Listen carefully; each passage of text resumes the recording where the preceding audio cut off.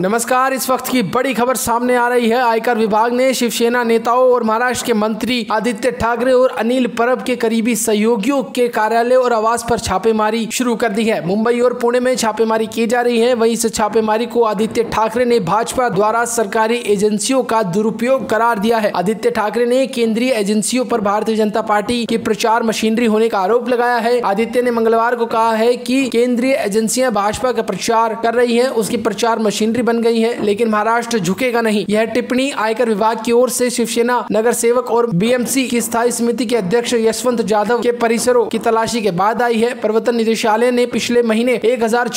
करोड़ रूपए के भूमि घोटाले के मामले में राउत की बेटियों पूर्वांशी और विदिता की एक फर्म में भागीदारी सुजीत पाटकर के आवास पर छापेमारी की थी आदित्य ठाकरे ने कहा है की अतीत में भी केंद्रीय एजेंसियों का दुरुपयोग किया गया यह पश्चिम बंगाल आंध्र प्रदेश में हुआ और अब महाराष्ट्र में हो रहा है केंद्रीय एजेंसियां एक तरह से भाजपा भाजपा की प्रचार मशीनरी बन गई है महाराष्ट्र झुकेगा नहीं आपको बता दें कि इससे पहले शिवसेना संजय राउत ने भी आरोप लगाया था कि भाजपा शासित केंद्र पार्टी नेताओं को केंद्रीय एजेंसियों का इस्तेमाल कर परेशान कर रहा है उन्होंने कहा था कि केंद्रीय एजेंसियां हमारी पार्टी के नेताओं को परेशान कर रही है इन एजेंसियों का उपयोग कर हमारे नेताओं पर दबाव बनाया जा रहा है कुछ भाजपा नेता कह रहे हैं की महा विकास अगाड़ी सरकार दस मार्च को गिर जाएगी ये सभी अफवाहें तब शुरू हुई जब मैंने उपराष्ट्रपति एम वेंकैया नायडू को लिखा था बहरहाल आपको बता दें की आयकर विभाग की छापेमारी बमबारी हो रही है और मुंबई और पुणे में रेड चालू है और इस वक्त की बड़ी खबर है जो हम आपको बता रहे हैं आदित्य ठाकरे के करीबी लोगों के घर पर रेड पड़ रही है बताया जा रहा है की उनके करीबी राहुल कनाल के घर इनकम टैक्स विभाग के अधिकारियों ने छापेमारी की है राहुल कनाल शिवसेना के यूथ विंग के नेता और श्रीडी साइंस संस्था के ट्रस्टी है इसके अलावा अन्य शिवसेना से जुड़े पदाधिकारियों के घर पर भी छापेमारी की गई है बहरहाल आप क्या कुछ सोचते हैं इस पूरी छापेमारी इस पूरे घटनाक्रम के बारे में हमें कमेंट करके जरूर बताएं वीडियो को लाइक करें शेयर करें और इस अपडेट को पाने के लिए इससे जुड़ी अपडेट पाने के लिए हमारे चैनल को भी सब्सक्राइब करें नमस्कार